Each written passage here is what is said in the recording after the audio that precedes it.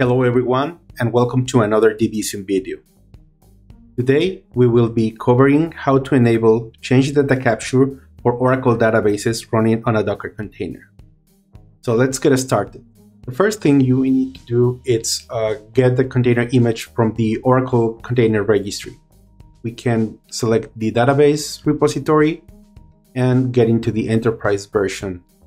You need to sign in uh, with an Oracle account so you are able to access the uh, registry as it is a protected registry.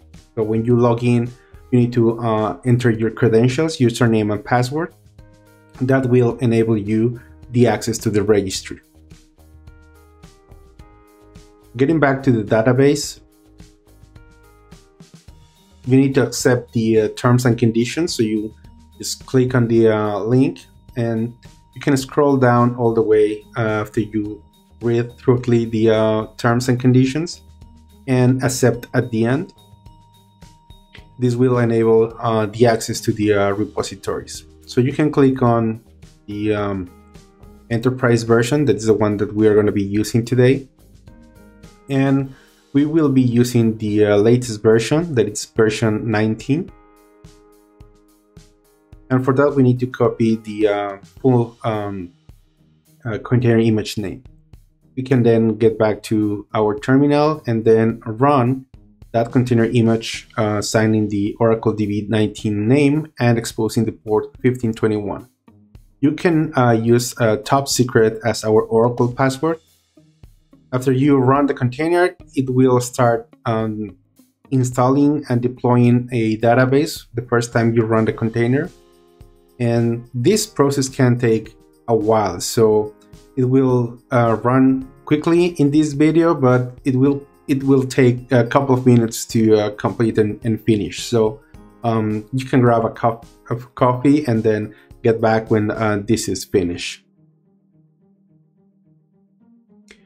For sake of the time I'm running this on super uh, fast mode so you can um, see what is the result at the end what we will be doing next is configure the actual uh, database uh, to get the uh, CDC enabled. So for that, we'll, we'll be using the uh, script uh, provided by the Debezium team under the uh, background configuration. It's called setup LogMiner. And this um, runs the different commands required to the DBA to configure the container image. Basically, it creates a recovery file then then enables the uh, log and you can go over the details on, on, on that file um, if you want or if you uh, haven't set up it uh, before. Then we can uh, log in into the container using uh, our shell script and the first thing we need to do is get into the uh, oradata uh, folder and then create this recovery area file a directory that will um, be used to uh, set information on the uh, redo logs. So we create the uh, the uh, folder and then we see that it's uh, available for use on the Oracle database. Now we can then use the script that I showed you before and then execute it directly on the container image. So it can retrieve it from internet and it will start to go over the different instructions like activating the recovery file, setting up the, the, uh, the uh, correct size, uh, shut down the uh, database and then starts to mount so it can then um, enable the archive log and then um, can open the, the database for usage on, on, on that log.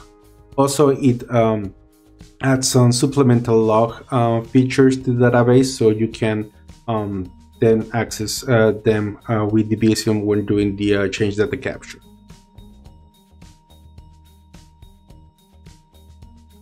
This will take a couple of moments when it shuts down and restarts the database, but then at the end you will uh, succeed with all the different comments.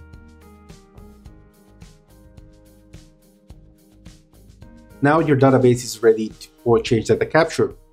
The next step is to get some um, example data into your database. So for that, we will get back to the uh, examples um, repository and then select the tutorial. And there's a, a folder for the Debezium with Oracle JDBC where you can find the inventory SQL file that creates a couple of data tables with uh, products and also grants the access to the uh, user as well as the uh, log data required for the uh, columns to be captured by change data capture. You can see the um, details here. We will be using the exact same approach. We will um, get, retrieve the uh, file from the um, from GitHub and then uh, pass that uh, command to the SQL Plus running on the same container.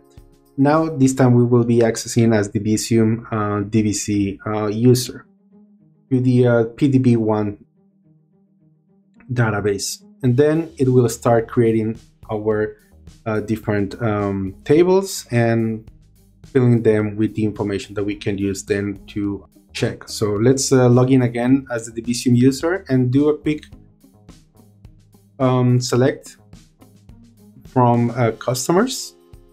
And as you can see, our database is ready to start capturing the changes using Debezium.